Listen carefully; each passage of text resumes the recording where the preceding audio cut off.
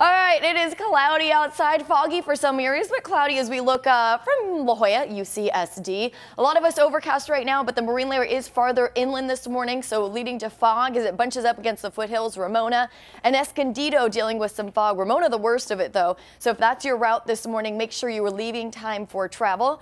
We're starting off in the 60s for most of the county, 55 in Ramona and in Alpine, 61 in El Cajon, 65 degrees in Oceanside and in Carlsbad right now, so pretty mild start once again to our day.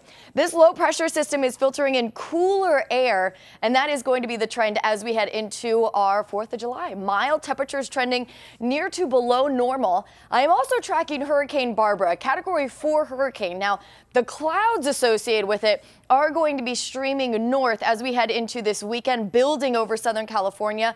That means that we are going to be seeing Though some beautiful sunsets. Once again, just like we saw last weekend, it's also going to bring in another southerly swell. So like those big waves and strong rip currents, not only today, but continuing into the weekend. That beach hazard statement I was talking about earlier, likely going to be extended. Slower clearing to sunny skies today and tomorrow with below number temperatures, below, num below normal temperatures sticking around into the weekend.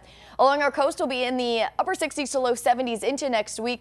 Due to the moisture coming in from Hurricane Barbara, it's also going to be more humid humid over the weekend. Inland neighborhoods were mostly in the 70s, but we will see a few 80s the next several days for some of the warmer spots like Escondido and in Ramona. The mountain areas will be in the 70s, close to 80 by Friday and Saturday, and temperatures still in the 100s out in the deserts. Kalina?